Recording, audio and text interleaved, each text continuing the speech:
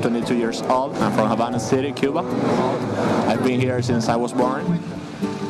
For a child to live here is nice because if you want to play, you you you could play with every every boy. There is no racial difference.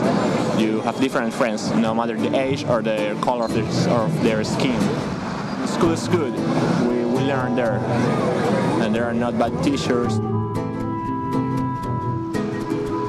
Perhaps it's a little bad in the material sense. No, the blackboards, the chairs, the tables, the pencils, that stuff. But not not the, the system, not the, the way we learn. That's good for us.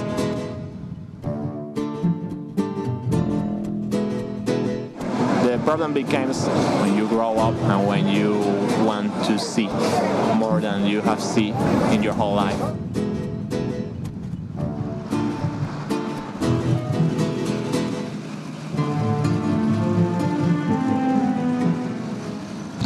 With the television, we see movies, but here we don't have real access to internet because information about the world and not information for us. That's bad.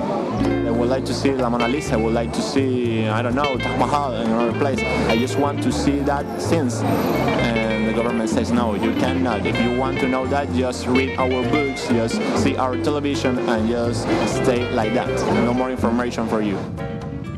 I'm not very happy with the things that happens here in Cuba because young people who wants to go higher, who wants to get a better future, has no opportunities here.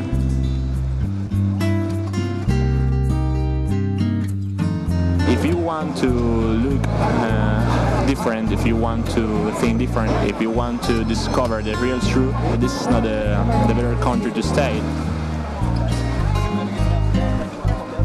Is like the clowns, you know. The clowns are perhaps they are tired, but they have a smile painted on their faces.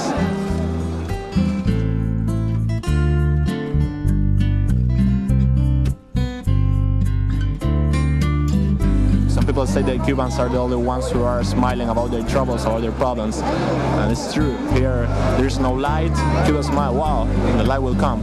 There's no water. Wow, no problem. Let- Let's wait for the water. Cubans are always like that.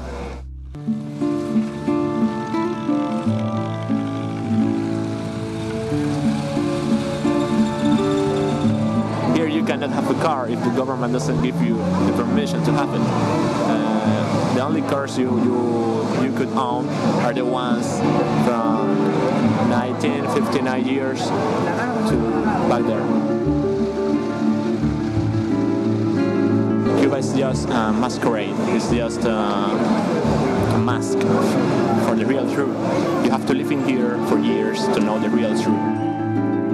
I cannot uh, spend a night in a hotel if I even if I had if I had the money. I would like to spend a night here. This, this is my money. No, no, no, no. You're not allowed to be in here. How do, would you feel if you were in your in your country and you were less than a person who is from the outside?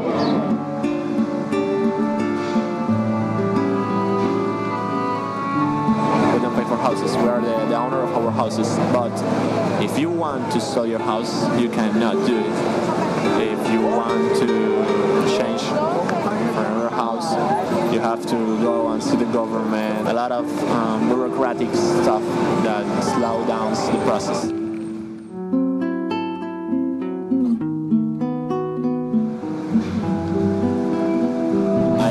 Havana City is a beautiful city. The architectural here is, is different for a lot of places. I know that we have stuff that uh, a lot of countries would like to share and would like to see.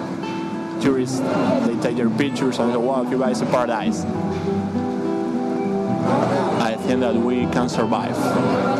You just work to survive, but you don't have more uh, more expectations. You don't think if you will go to anywhere in the future. You don't think about years. You think about days. Cubans have a lot of faith. Yes, they're always praying for something. They're always praying for for a better tomorrow. That here I'm not complete. Uh, here I am just a Cuban. I'm from Cuba, but I'm also from the earth. I would like to know more.